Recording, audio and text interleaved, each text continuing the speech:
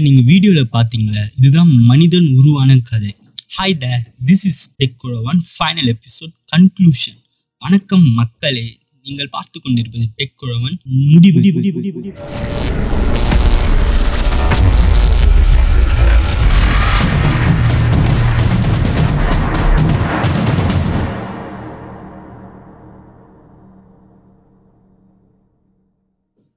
இந்த வீடியோ போட்டு காமிச்சதுக்கு வந்து ஒரு காரணம் இருக்கு. ஃபர்ஸ்ட் இந்த வீடியோவில் நான் என்ன சொல்ல வரேன்னு பார்த்தீங்கன்னா வந்து மனிதர்கள் எப்படி உருவாங்கினான்றத வந்து தான் சொன்னேன். ஃபர்ஸ்ட் இந்த பூமி அதாச்சும் இந்த உலகம் எப்படி உருவாச்சுன்னு பார்த்தீங்கன்னா வந்து பெருவெடிப்புலேருந்து உருவாச்சு. அதாவது பிக் பேங் ஒரு பெரிய வெடிப்பு நடந்துச்சு. அதுலேருந்து தான் வந்து கேலக்சிஸ் அதாச்சும் விண்மீன் கூட்டம் பிறந்துச்சு. நம்மளோட பால்வெளி மண்டலம் அதாச்சும் மில்கிவே கேலக்சியும் அந்த பெருவெடிப்புலேருந்து பிறந்தது தான் அதுக்கடுத்து என்னன்னு பார்த்தீங்கன்னா வந்து அந்த மில்கி வே தோன்ற உடனே வந்து நம்மளோட சூரிய குடும்பம் அதாச்சும் சோலார் சிஸ்டம் வந்து உருவாச்சு. அது உருவாயிட்ட பிறகு என்னாச்சுன்னு பார்த்தீங்கன்னா வந்து நம்ம பூமி இருந்துச்சு. நம்ம பூமி முதல்ல என்ன பார்த்தீங்கன்னா வந்து அதாச்சும் உயிரினங்கள் வாழ தகுதியே இல்லாத ஒரு கிரகமாக தான் இருந்துச்சு. அப்பதான் வந்து வேறு ஒரு கிரகம் அதாச்சும் நம்ம பூமி இந்த மார்ஸ் சைஸ்ல செவ்வாய் கிரகம் அளவுல இருக்க இன்னொரு ஒரு கிரகம் வந்து நம்ம பூமி கூட மோதி நம்ம பூமியை வந்து உயிரினங்கள் வாழ தகுந்ததா வந்து மாத்துச்சு. அப்படி மாத்திட்ட பிறகு முதல்ல வந்து டிஎன்ஏ உருவாச்சு. அதாச்சும் மரபணு அந்த மாலிகூல்ஸ் அந்த மரபணு உருவாச்சு. அதுக்கடுத்து என்னாச்சுன்னு பார்த்தீங்கன்னா வந்து செல்கள் உருவாச்சு உயிரணுக்கள் உருவாச்சு. அதுக்கப்புறம் வந்து என்னாச்சுன்னு பார்த்தீங்கன்னா டைனோசர் உருவா உருவாச்சு. இது வரைக்கும் வந்து எந்த பிரச்சனையும் இல்லை. இதுக்கப்புறம் தான் வந்து டைனோசர் வாழ்ந்துட்டு இருக்கும்போது ஒரு எரிக்கல் வந்து நம்ம பூமியில வந்து விழுந்துச்சு. அப்பதான் வந்து அது நடந்து ஒரு ஐம்பது மில்லியன் வருடம் கழிச்சு வந்து மனிதர்கள் பிறந்தாங்க. அவங்க பிறந்துட்ட பிறகு என்னாச்சுன்னு பார்த்தீங்கன்னா வந்து அவங்க உணவு உடை உறைவிடம் இது மூணுத்துக்கு மட்டும் வேட்டையாடிக்கிட்டு இருந்தாங்க. அது வரைக்கும் வந்து எந்த பிரச்சனையும் இல்லை. அதுக்கப்புறமா வந்து அவங்க ஆடம்பரத்து செல்ல ஆரம்பிச்சிட்டாங்க. பில்டிங்ஸை கட்ட ஆரம்பிச்சிட்டாங்க. காடுகளை அழிக்க ஆரம்பிச்சிட்டாங்க. பாப்புலேஷன் வளர்றதுனால பல இடங்களை அழிச்சு எல்லாமே வந்து ஒரு சுயநல கண்ணோட்டத்தோட பார்த்துட்டு இப்போ அவங்களுக்கே வந்து அது எல்லாமே ஆபத்தாக முடிஞ்சிச்சு. கடைசி எபிசோட்ல நான் சொல்லியிருப்பேன். முதல்ல வந்து காடுகளை அழிச்சு விவசாயின்ற பேர்ல காடுகளை அழிச்சாங்க. அதுக்கடுத்து வந்து அந்த விவசாய நிலங்களை அழிச்சு அதுக்கப்புறம் வந்து பில்டிங்ஸ் எல்லாம் கட்டினாங்க. இது எல்லாமே நடந்துகிட்டே தான் இருக்கு. இப்ப நம்ம இருக்கிறது வந்து ரெண்டாயிரத்தி இருபது. இதே மாரி போயிட்டு இருந்துச்சுன்னா நம்ம பூமியோட நிலைமை எப்படி இருக்கும்? நம்மளுக்கு இது எல்லாத்துக்கும் வந்து சொல்யூஷன்ஸ்லாம் இருக்கா? அதாச்சும் தீர்வு இருக்கா? ரெண்டாயிரத்தி நூறுல நம்ம பூமி எப்படி இருக்கும்னு தெரிஞ்சுக்கணுமா? சரி வாங்க ஒரு டைம் ட்ராவல் பண்ணிடலாம். Let's do the time travel அதாச்சும் ஒரு கால பயணத்தை தொடங்கலாம். வாங்க. Welcome to two thousand hundred ரெண்டாயிரத்தி நூறுக்கு அதாச்சும் எதிர்காலத்துக்கு ஃபியூச்சருக்கு உங்கள் எல்லாரையும் வரவேற்கிறேன். இப்போ நீங்கள் பார்க்குறீங்களே இதுதான் வேர்டிக்கல் ஃபார்ம்ஸ் இதுதான் வந்து நம்ம மனித குலத்தோட ஒரு மிகப்பெரிய அச்சீவ்மெண்ட்டாக இருக்கும். இன்னும் கொஞ்ச நாள் கழிச்சு. இப்படிதான் வந்து நம்ம விவசாயம் டெக்னாலஜி இது ரெண்டுத்தையும் வந்து ஒன்னாக்கி நம்ம பூமியை அழிவுலேருந்து அதாச்சும் மனித இன்னும் அழியாம வந்து இப்படிதான் நம்ம வந்து பாதுகாக்க போறோம். அதாச்சும் நான் என்ன சொல்ல வரேன்னு கேட்டிங்கன்னா வந்து ஃபியூச்சர் ஆஃப் அக்ரிகல்ச்சர் அதாச்சும் ஃபியூச்சர் ஆஃப் விவசாயம் என்னன்னு கேட்டிங்கன்னா வந்து இந்த வெர்டிக்கல் ஃபார்ம்ஸ் தான். இது மாதிரி தான் வந்து நம்ம விவசாயம்லாம் செய்ய போறோம். முதல்ல இந்த வெர்டிக்கல் ஃபார்ம்ஸ்னால் என்னன்றத வந்து நான் சுருக்கி சொல்லிடுறேன். ட்ரெடிஷ்னல் ஃபார்ம்ஸ் அதாச்சும் பாரம்பரிய விவசாயத்தில் நம்ம பயிர்களெல்லாம் வந்து எப்படி விளைவிப்போம்னா அதாச்சும் எப்படி வந்து இந்த பயிர்கள் அதாச்சும் கிராப்ஸை வளர்ப்போம்னா நிலத்தில் தான் வளர்ப்போம். அப்போ நிலத்தில் வளர்க்கும் போது வந்து நம்மளுக்கு இடம் ரொம்ப அதிகமாக தேவைப்படும். அப்படி இருக்கும்போது வந்து நீங்கள் எதிர்காலத்தில் அதாச்சும் ஃப்யூச்சரில் வந்து இடப்பற்றாக்குறை ரொம்ப அதிகமாயிடும். பாப்புலேஷன் வளர்ந்துடும் மனிதர்கள் ரொம்ப பெருகிடுவாங்க.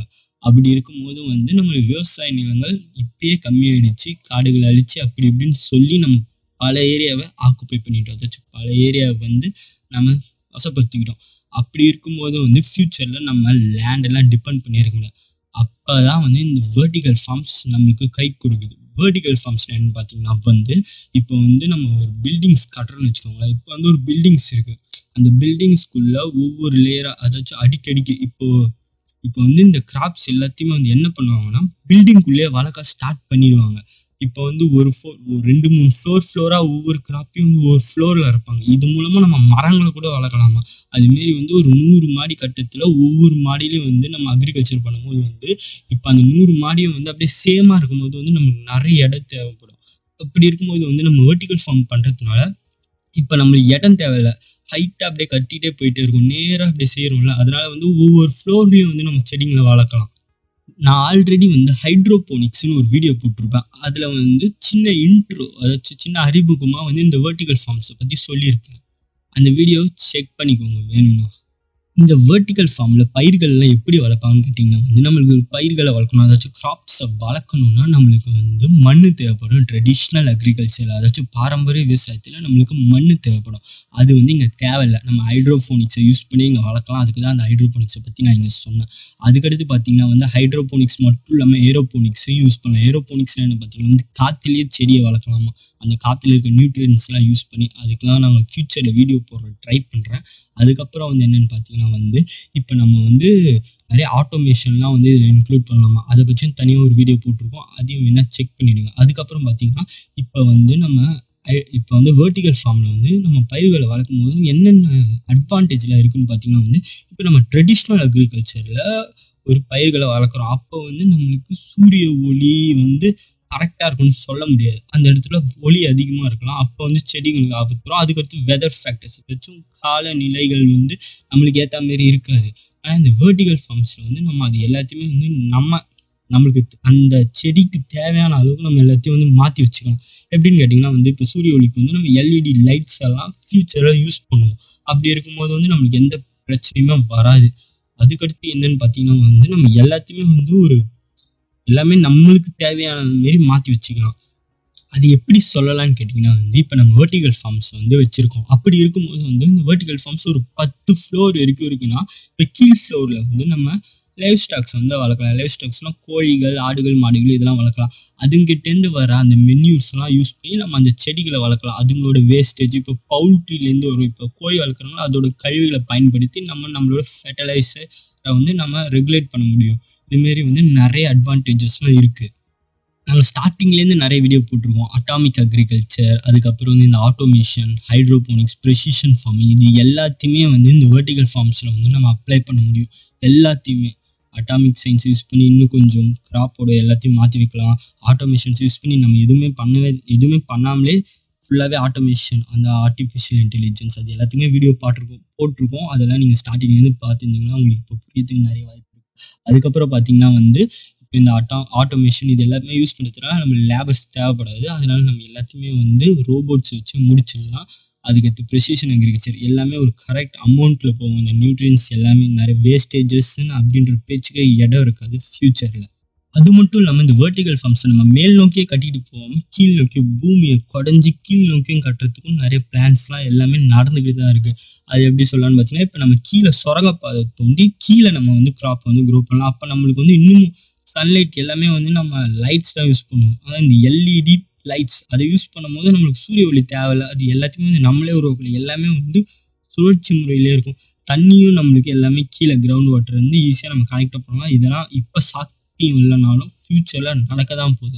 இப்போ இது எல்லாமே வந்து ரெண்டாயிரத்தி நூறில் நடக்கிற மாதிரி இருக்குது அதுவே இன்னும் ஒரு ஆயிரம் வருடம் கழிச்சு இது எல்லாத்தையும் மறந்துட்டு நம்ம அந்த ஸ்பேஸ் ஃபார்மிக்கும் போயிடுவோம். அதையும் நான் வீடியோ போட்டிருக்கேன். அதையும் செக் பண்ணுங்க. ஸ்பேஸ் ஃபார்மிங் இது எல்லாமே நடக்க தான் போகுது. இது வரைக்கும் எல்லாமே ஃப்யூச்சரில் நடக்க போகிறத பற்றி மட்டும்தான் நான் வீடியோவே நிறைய போட்டிருக்கேன்.